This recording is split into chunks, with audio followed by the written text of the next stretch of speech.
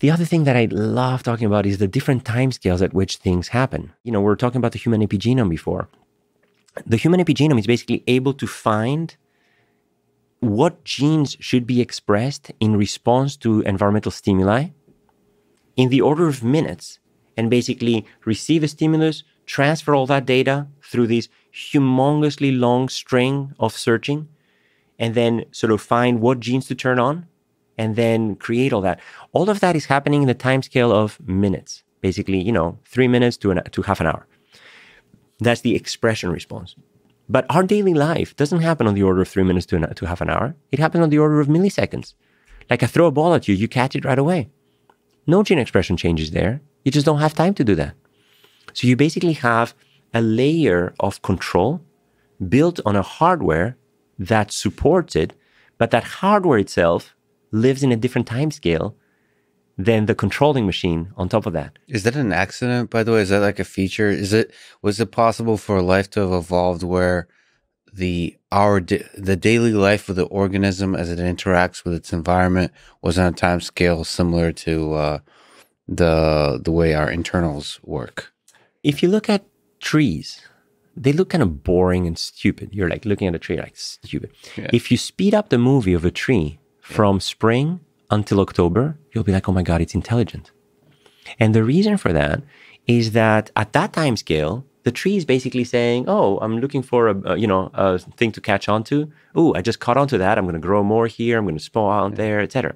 Like I can see the trees in my garden just growing and sort of you know looping around, and um, it's all a matter of time scale.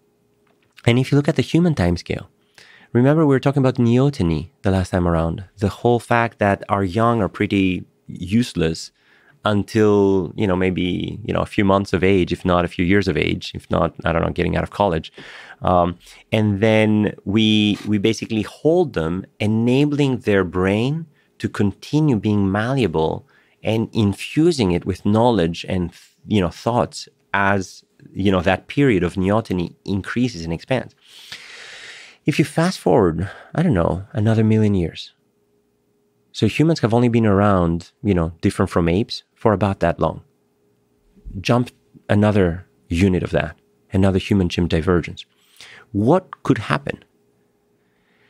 From an evolutionary time scale, a lot.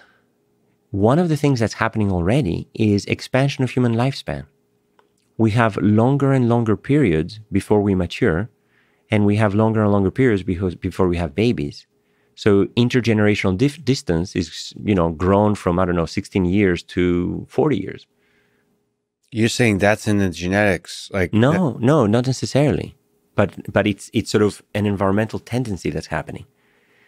But as we medically expand human lifespan, the generations might actually be pushed instead of 40 years to 60 years to 100 years. Like if we look at the long arc the, of the exactly, evolutionary history. Exactly. So as we start yeah. thinking about intergalactic travel now, Sorry, that's that's a heck of a transition. Uh, yeah, so let's talk about no, no, no, no, no. As yeah. as we as a species start thinking about, I mean, I'm, I'm, talking about these transitions that are happening, right? No, and that's that's so that's awesome. Continue along these transitions. What does the future hold in the next million years? So the concept of us going to another planet and that taking three human lifetimes might be a joke if the human lifetime starts being 400 years or 800 years so imagine it's all time scale. It's all time scale, just different time scales. Yeah. You asked me offline whether I would like to live forever. I mean, my answer is absolutely. And there's many different types of forevers. One forever is do I want to live today forever? Kind of like Groundhog Day. And the answer is absolutely. The stuff that I want to learn today will probably take a lifetime just to learn, you know, basically to clear my to-do list for the day. You mean like relive the day? Relive like, the day. And then and then pick up different things from the richness of the experiences exactly. that are all in today. Uh, there's just so much happening in the world every single day. So much knowledge that has happened already that just to catch up on that will probably take me around forever. on that on that point, I just I would just love to see you in the Groundhog movie just because you're so naturally as a scientist, but just the way your mind works beautifully, just all the richness of the experiences that you will pick up from that. Uh, uh, it's a beautiful visual. But you try to live each day as if it was Groundhog. Groundhog. I, am basically every single day waking up and saying, "All right, how would Bill Murray get, get out of that one?" Well, you know what? on a on a funny tangent, I I got a chance to uh, go to a Neuralink demonstration yeah, event. Yeah, I'm not usually familiar with Neuralink, and uh, I talked to Elon for a while. Uh, and one of the funny things he said on this Groundhog Day thing is, you know, it's a beautiful dream to eventually be able to replay our memories. So we're kind of these recording machines. Our brain is kind of uh, maybe a noisy recording machine of memories, and it would be beautiful if we can someday in the future, maybe far into the future, be able to, like in the Groundhog Day situation, replay that. And the funny comment that stuck with me is he said that maybe this, our conversation now, is a replay of a memory of a previous memory. And that stuck with me because it would probably be my replay. You know, um, mm-hmm. who the hell am I? I'm just some idiot guy. But like Elon Musk is, you know, a, a, probably because of SpaceX and so on, is probably going to be remembered as a special person, yeah. one of our special yeah. apes in, in history. So if I wanted to replay a memory, probably be that one. You know, talking to Elon yeah, for a while. Yeah, that's awesome. And that's an interesting uh, possibility from a. Uh, if we think about time scales, if we think about the richness of the experience through time that we humans take and be able to replace some aspects of that of that biology. That's yeah. super interesting. But anyway, sorry for sorry for the tangent. Let's yeah, you were talking about time scales and the expansion of the human lifetime and uh the so, idea so, of intergalactic travel. yeah, no, but but you're laughing about this. Like, yeah, no, for sure. That is you're future. talking about this. You're talking yeah. about exploring alien worlds. Yeah. and going to other planets. I mean, you know, when Sarah was here, she was talking about sort of going to other planets when we find this life. I mean, I'm I'm just very naturally, given the topics that we've approached, talking about the the time scale at which this will happen.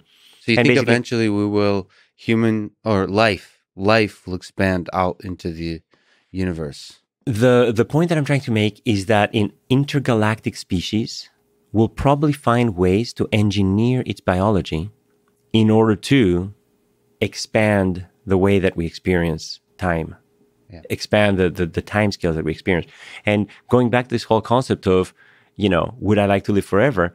Yes, I'd like to live to forever. Even if it was, even if I was stuck on the same day, I'd love to live forever because I would finally have time to do all these things that I want to do. But if living forever actually comes with a perk of watching the whole world evolve forever, I mean, that's a huge perk. And I would, you know, just, it'll never get boring, just a never changing world. And then the, the mind, uh, you know, sort of uh, experiment that I want you to, to do is to also ask, what if I wanted to live forever one day at a time every year or one day at a time every decade? Mm-hmm. Would you choose that? Where you would wake up and the world would be 10 years later every single day you wake up. It's the opposite of Groundhog Day, where basically you always wake up and it's always 10 years later. So, so you're saying that's such a powerful, interesting concept that life is more interesting if you're, of all the life forms on earth, that you're the slowest one. Exactly. Exactly. like trees have like it right. Trees have it right. Olive trees, like you know, they've been there since the Minoan civilization. Yeah.